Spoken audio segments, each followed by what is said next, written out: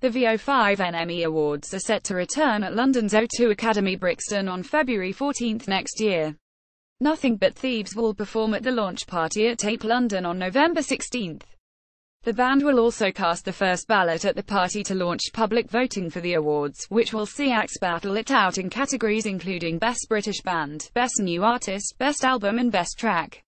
Mike Williams, NME editor-in-chief, said NME Awards season is upon us again, and we're kicking it all off with one of the year's big breakthrough successes, Nothing But Thieves.